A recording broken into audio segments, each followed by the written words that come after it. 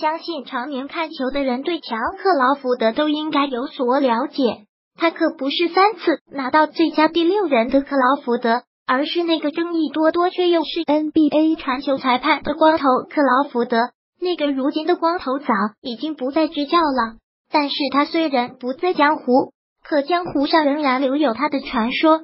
今天过人群就和大家一起聊聊当年克劳福德裁判掀起的一阵阵腥风血雨。音效驱逐邓肯只是其中一件而已。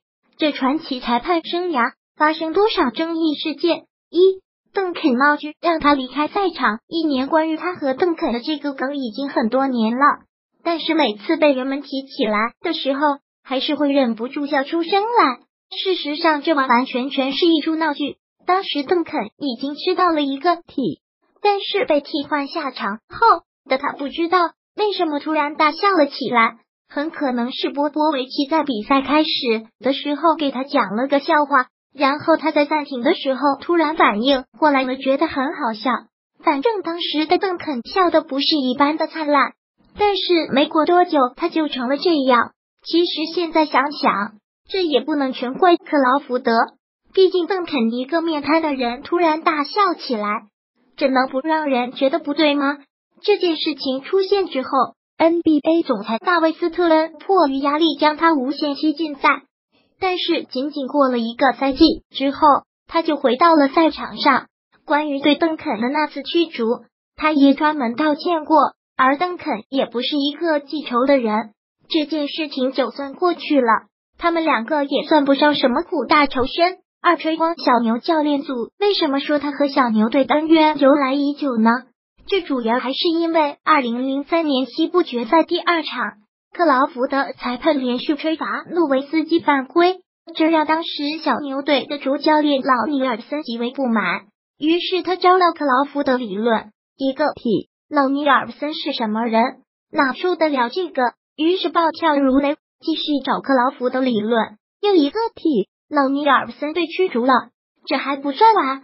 第二节比赛的时候，小牛队助理教练戴尔哈里斯在向克劳福德抱怨时也被驱逐出场。如此一来，克劳福德在不到两节的时间就把小牛队主教练和助教一并驱逐了出去。都这样了，梁子还能急不下来吗？三，小牛队暂停宣案。二零零六年总决赛第五场比赛来到了最后时刻，韦德站上了罚球线。毫无疑问。无论韦德两次罚球如何，在他罚完球之后，小牛队都会叫暂停来布置战术。然而，灵异的一幕发生了：韦德刚刚罚完第一个球之后，裁判就给了小牛队一个暂停。然而，小牛队上下都坚持自己没有叫暂停，号称全方位拍摄的 NBA 也没有捕捉到场边的镜头。